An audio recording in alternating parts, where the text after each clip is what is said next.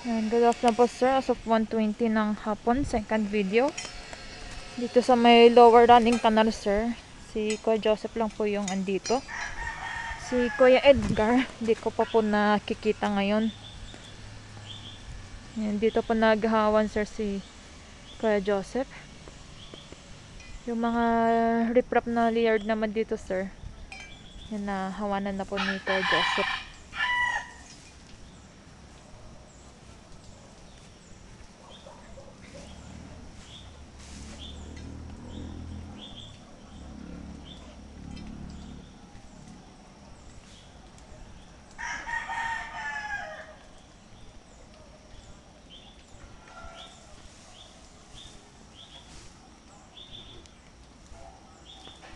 Yan, makulimlim po ngayong hapon na to, sir. Tsaka umaambon na rin. Yan, nakapaghawa na dito, sir, si Kuya Joseph.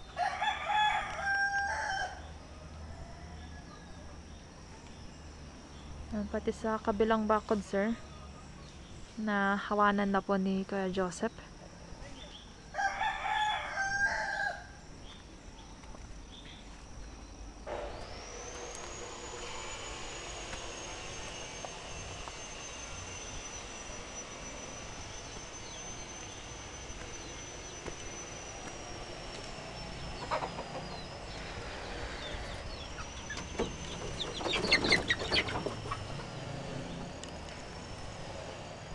Dito sa taas, nakapagawa na dito sir sila, Kuya Joseph. Tsaka si Kuya Edgar.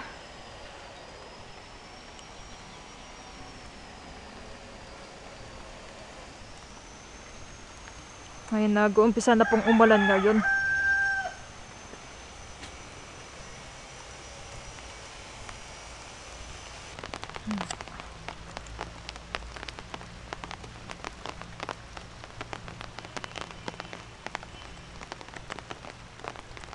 Ito naman yung running canal, sir.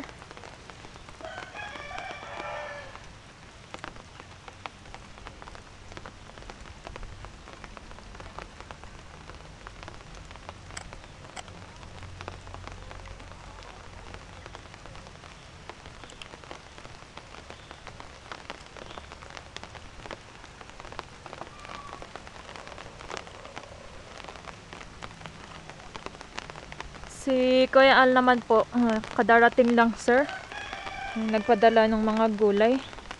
Tapos kakain pa daw po siya bago mag-umpisa magtrabaho.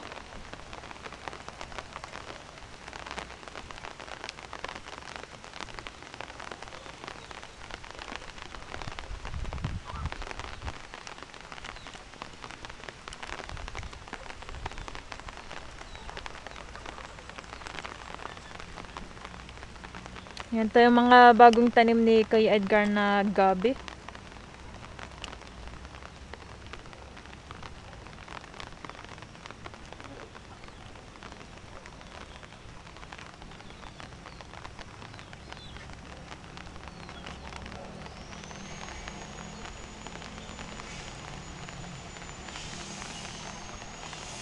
Dito sir sa may garden ng honeymoon. Yan, umikot na po ako, hindi ko pa nakikita si Kuya Edgar. Hindi ko lang po napuntahan sa kwarto po niya. Yan, yung riprap dito sir, nalinisan na po ni Kuya Al. Yung ilalim ng golden bush, nalinisan na rin po. Maganda na po siyang tignan. Yung dito sa may lokarya naman, tsaka pine tree. Yung mga natambak dito na dahon-dahon. Yun po yung hinahakot ngayon ni Kuya Al. Ba, nang ingay na.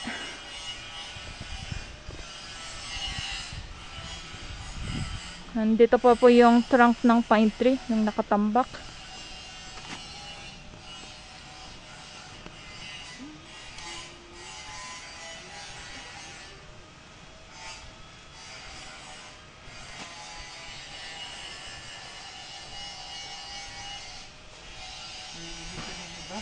Ha? Iba man ang pinirmahan.